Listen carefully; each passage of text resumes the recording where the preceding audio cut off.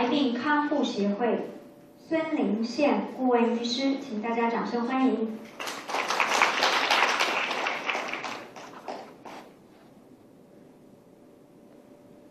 嗯，大会主席、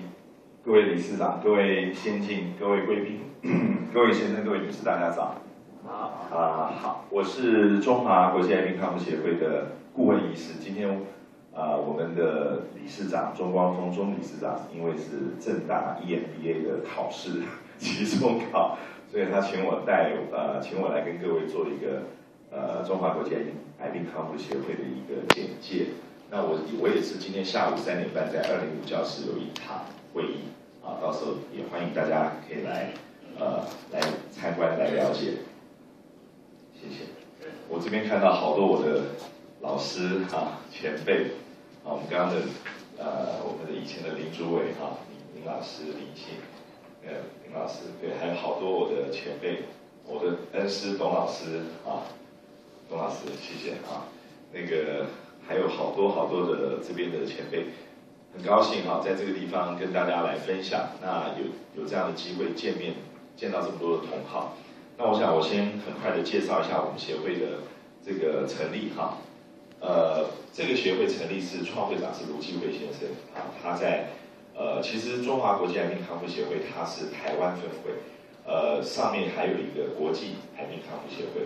目前在全球九个国家有分会。那我们台湾地区叫中华国际癌病康复协会啊，所以啊，这个协会呢，事实上成立有一段历史了，大概。在台湾的部分呢，是我们正式成立是在二零零五年开始，主要就是针对癌病的病患，透过访视活动，鼓舞这些病患的生存意志，还有提供今天我们大会主题就是很多各家的好的整合医疗的方案，告诉病人举办这样的演讲，请专家学者来告告诉病人，癌症得到了不要害怕，而且得到了不能只是靠传统的啊常规治疗。很重要的是自己的这个求生意志，还有其他很重要的一些疗法来结合啊，所以这个是我们协会成立的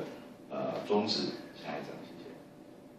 呃，我们到现在呢，从零五年的三月三十一号台北的分会成立到现在，已经办过呃会员有一千多人哈，那讲座有三百六十七场，那讲座的人次超过超过将近两万人啊，都是小场的一个讲座。那主要针对的是病友跟病友的家属啊，所以协会也很欢迎大家哈来跟我们呃联系。如果您有很好的一些想法，我们有机会也可以来合作来举办啊。下一张。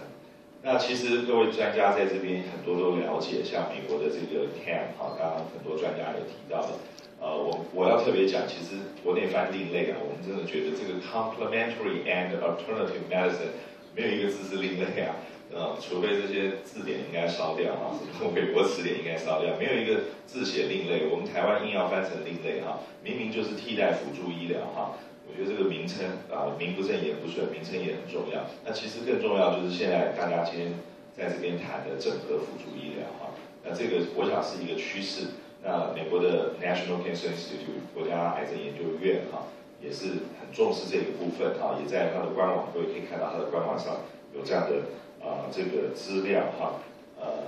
这是 National Cancer Institute。那下一张，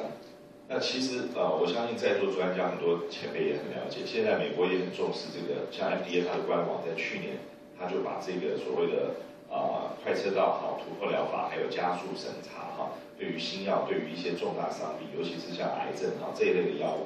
尤其是突破疗法，我我我觉得这个意义很重要哈，表示美国这个我们讲。啊，西医的主流啊，以美国 FDA 为主，也重视开始重视人的生活品质，而不是只重视这个疾病，比如说像癌细胞的处理啊。过去的治疗都是针对细胞层次，那呃，细胞当然是组成人的一个最小的单元啊，但是最重要的是整个人的表现。所以说，临床呃效益啊，clinical benefit 这个现在 FDA 也开始重视，所以欢迎大家提供更多的方法。去申请临床，找到刚刚我们老师讲的哈啊，就是所谓的 evidence 哈，找到更多的实证。当然，现在这一段虽然说是快车道，可是还是很慢哈。但是至少美国政府像 FDA 他们也看到这个问题，就是说癌症治疗就就像癌症治疗来讲，也绝对不是只有针对癌细胞而已啊，要针对人啊。那我们协会就是站在这样的一个立场，其实很多的方法，像在座很多的贵宾、很多的专家，也是在走这一条的路啊，在在医学领域上，这个在美国叫做突破疗法，就是以人的临床表现为最终的目标，而不是以这个细胞的层次而已。下一张。那我们推广的这个部分呢，呃，针对像刚刚很多的前辈、前面的理事长谈到啊，包括我们新成立的传输因子学会啊，这些都针对免疫啊，就是我们回到像中医讲的正气啊，这个呃，这个我们正气足的话呢，事实上百病就不是一个很大的问题啊，所以我们协会也是在推广整合辅助疗法，尤其是提升免疫来对抗癌症啊，也也这个除了抗癌之外，我们也是防癌。也推广这个防癌，其实最好的治疗是预防啊，还有包括用整合的方法啊来推广这样的概念。下一张，那呃，因为协会也推广像这样的理念，所以也非常欢迎像有科学根据的、有临床实证的，像我们刚刚呃我们李信老师讲的，就是说你要拿 evidence，所以我们也推广像中药，现在在这个国际上有越来越多的这个 paper 开始发表，尤其是 clinical trial 正式的。好像我们台大医院才刚刚做完这个中药的这个乳癌末期的临床啊，那也收录到这个美国也登录到也登录到这个 clinical trial 在美国官网 NIH 的官网上登录啊。下一张，那包括在呃这个啊这个这个实验在台大做的是末期乳癌，发现哎中药对于中药复方对于这个乳癌乳癌末期患者啊的效果非常的显著，这些末期患者都是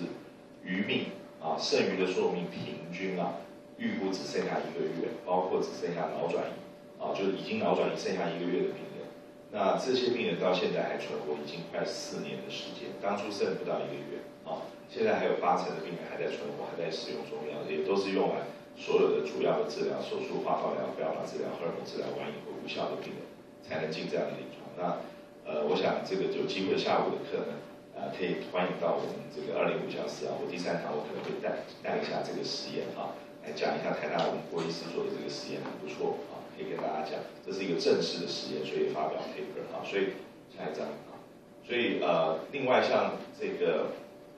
这个 paper 已经发表了哈，那下一张，所以呢，我们也很就是高兴看到，就是说在尤其是我们协会推广癌症这一块，在癌症治疗上面，在这个其他的方法，包括中药哈，美国国家癌症研究院呢，他也把像这样有根据的中药复方啊，也收录到他的 s o r u s 他的医药词典，而且还给了一个编号 C 八八二七五啊，就是因为在台大也做了临床啊，所以像现在我看到这个呃 N N C I 就是美国南国家癌症院啊，他们的 s o r u s 他们的 Drug Dictionary 里面，目前已经有两位中药已经收录进去，都是复方啊，一位是我们的呃董老师在这边啊，一位是我们的那个老老方黄清康啊。黄金康这个张仲景医生的老方啊，一个是新方啊，就是像这个就是一个新方比较大的一个方方，所以这个这个趋势，我想在国外已经开始受到重视。所以我去年跟这个我们呃呃我们中就现在是中医署了哈，去年是中医药委员会，我们跟黄主委简报之后啊，大家都觉得这个是亚洲未来的一个发展的中药的趋势哈，对治疗癌症上面给病人很好的帮助。好，下一张，呃，包括。呃，我们发现，在中药在治疗，在不只是对提升免疫哈，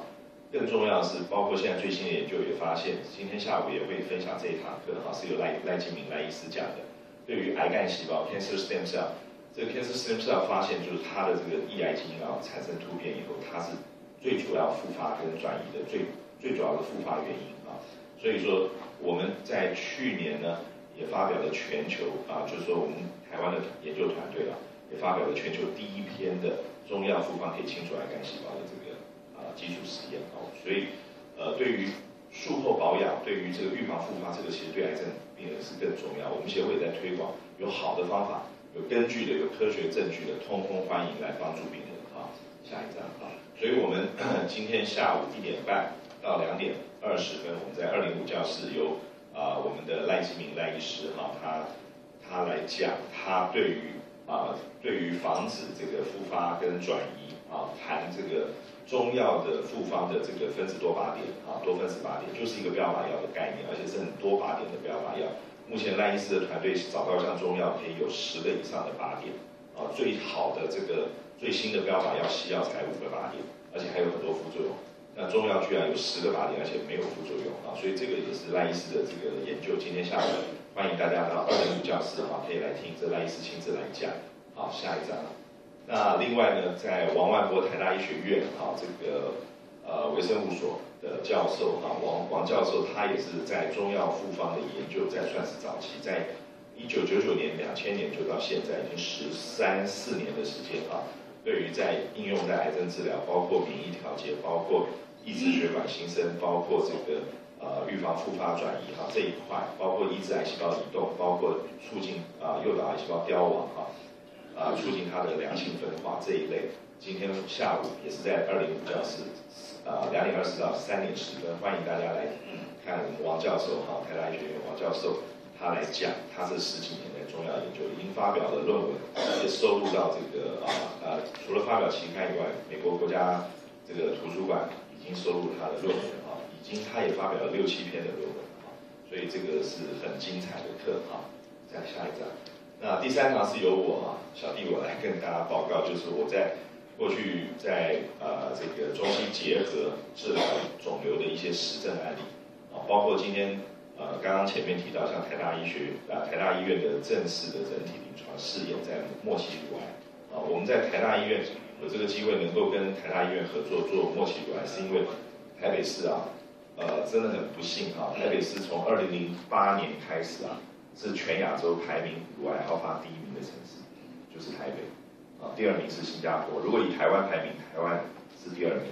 啊，新加坡是第一名。可是以城市排名，台北市超越新加坡。啊，我们好像薪资没办法超越新加坡，可是我们癌症好发率，尤其乳癌啊，所以台大才会在这个乳癌，台大的乳癌病人太多了哈，那很多末期的病人没办法治疗的，我们就是用中药治疗。所以，呃，这个这个实证的研究的部分啊，啊，前面是基础的课程，有王教授，有赖医师，他们在基础实验。从动物从细胞做的实验，到第三堂是由我一样在二零五教室来讲临床实验跟所谓的实证的案例。除了乳癌以外，我可能会再介绍一些比较特别的案例来让大家看一看。大部分都是复发的病人，因为我们大概能够接触到的病人全部都是做完传统治疗已经就是没有效无效医疗以后才会来想试试看中药的这个整合治疗的病人啊，所以。我想这个部分在下午我会跟大家在做现场一对一的这个啊，这我们在做沟通的时候，有 Q&A 的话，大家可以来多多呃互相交流一下。好，那我想今天介绍到这边，谢谢大家，谢谢。